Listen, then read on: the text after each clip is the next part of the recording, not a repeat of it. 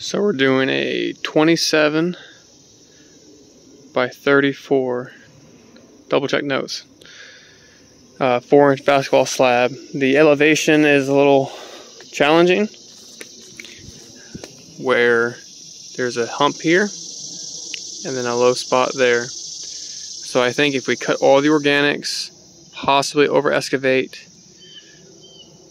five, six feet, whatever, maybe a bucket worth, that we can flatten what's here.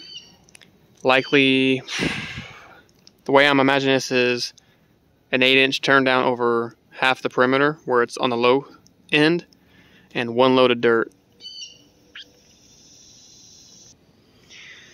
Uh, and or a load of dirt. I'll have to play with it on paper first. So we're also going to do a 20 inch by 20 inch, four foot deep hole. He's going to send me the CAD plan for the uh, basketball hoop. Slide this over there.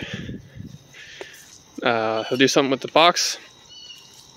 We're gonna take those two little bushes uh, with the organics and we're also gonna take down that one fits panel and come straight through here.